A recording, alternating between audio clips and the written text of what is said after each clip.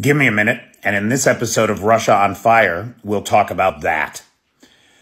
For the last several days now, it has been clear that the North Korean shells have reached the front line. A record number of Ukrainian settlements have seen shelling the likes of which we have not seen in months.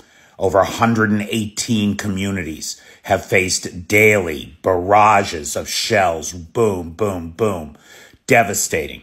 In Avdiivka, we've seen, uh, and in Vuhledar, we've seen the Russians just systematically leveling one block after another uh, as they try to grind an entire part of civilized Europe into dust.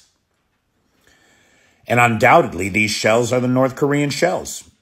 A U.S. military intelligence, confirmed by British military intelligence, tells us that there are a million North Korean shells on their way to the front. Probably 350,000 of them have arrived at the rail yard in Krasnodar. Now, not far from there in Sadove, this happened today.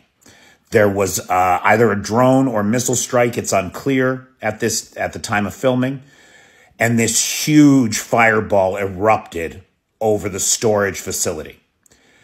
It is believed that this is Ukraine striking at those North Korean shells. And so the deep battle continues. Uh, join me for an unscheduled live at 6 p.m. Eastern Standard Time um, here on TikTok, where we'll discuss the deep battle and the so called stalemate in this war. Thank you.